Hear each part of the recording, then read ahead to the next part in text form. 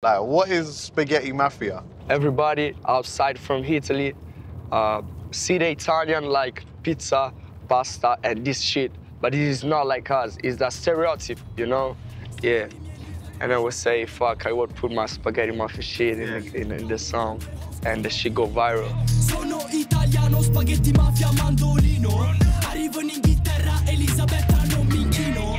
Vesto nero come un ladro, faccio home invasion. I suoi occhi sono marroni come questo Draco. La mia gente in piazza non ha un conto mula nelle calze. Più gli fai favori, più non senti dire grazie. Bitch sta torcando, lei ha un culo grosso. Con un figlio, lei ne ha tre.